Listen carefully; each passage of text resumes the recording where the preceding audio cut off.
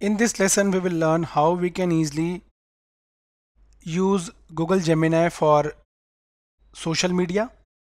Let's say you want to generate a LinkedIn post or a Facebook post. You can easily do that. With that, you can also search some tips and tricks to grow your Instagram followers or your YouTube subscribers. Let's see.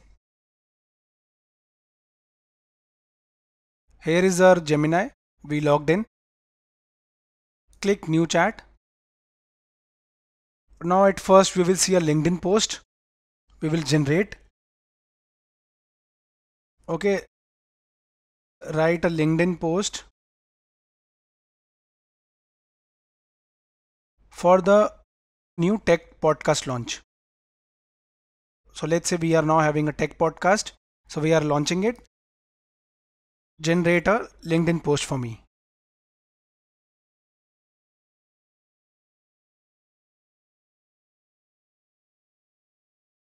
Okay, here it is. Directly you can uh, mention the links here. Okay, you can also list the platforms for the podcast and add your social media handle. Copy it from here you can directly share set it as a draft in Gmail or export to docs.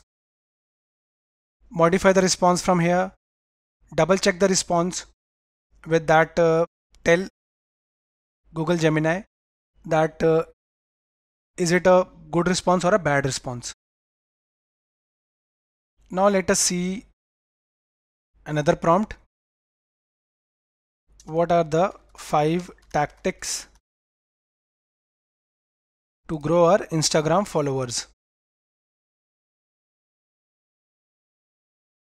Okay, here it is some good tips by Google Gemini. Okay, now we can do the same for YouTube subscribers.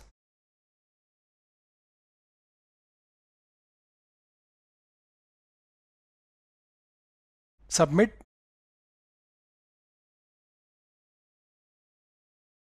okay here it is. You can read it copy it from here. Let me rename it for social media. Rename. So guys we saw how we can easily use Google Gemini for a social media post as well as to get some tips and tricks to grow our Instagram followers or YouTube subscribers. Thank you for watching the video.